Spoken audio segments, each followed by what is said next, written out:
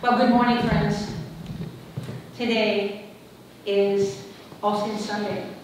And I have a, a, a, bit of a special children's message for us before we go to Sunday school.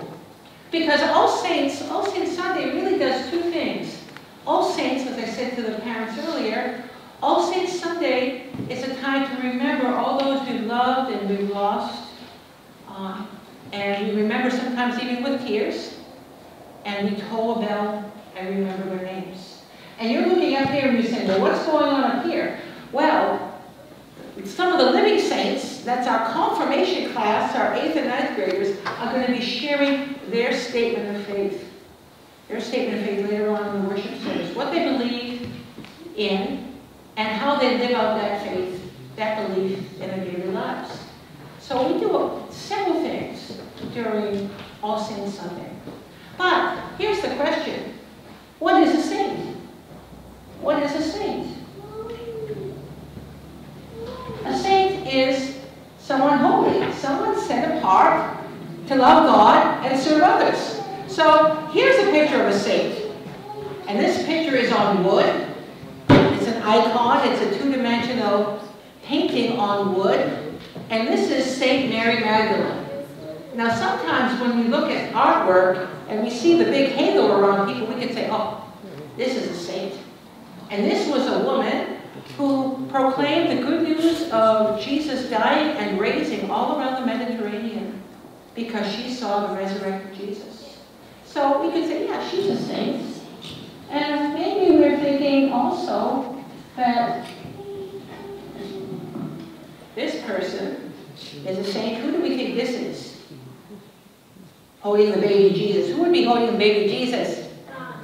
Well, God's servant Mary, right? Mary. This is Mary. It's an icon here. And she's got this halo around her head. And we know, or we will hear later on, that when she was 13 years old, the age of our confirmants, she was given an impossible task. And she believed God against the odds. And so she lived out her life, a life of faith. So we know that these, these famous people of old are saints, but not only them. Whose picture do you see in that mirror? Yeah, and your name is Hunter. Who do we see in this mirror? And you are Caitlin. Who do you see in here? And your name is Who do you see in this picture? Yes, you see yourself. And you are Elena. Who do you see? Me. Yes. And you are? Dylan. Dylan. How about, how about this picture? Me. And who do you, and your name is? John. So everyone can see. How about, how about you, Ethan? Who do you see? You see Ethan.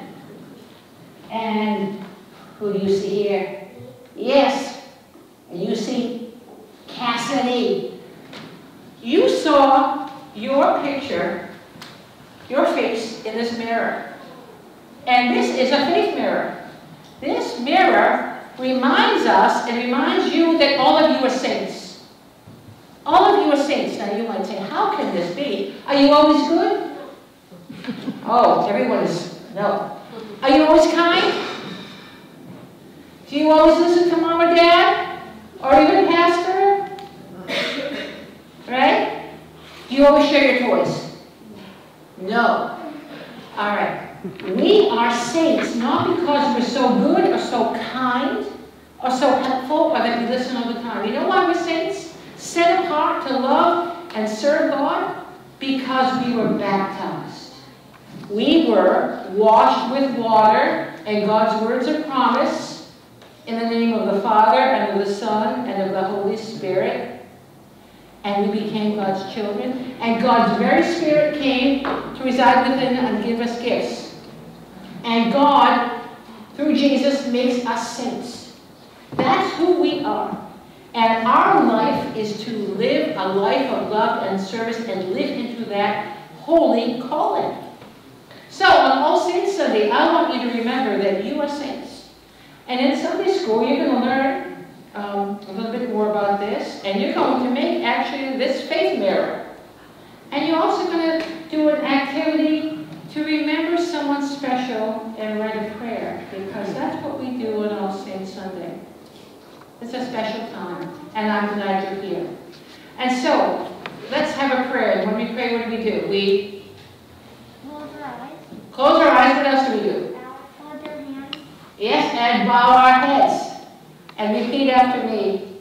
Thank you, God, that you love me, and that you have made me a saint. Help me to remember who I am, and to live a life of love and service. In Jesus' name, Thank you for coming.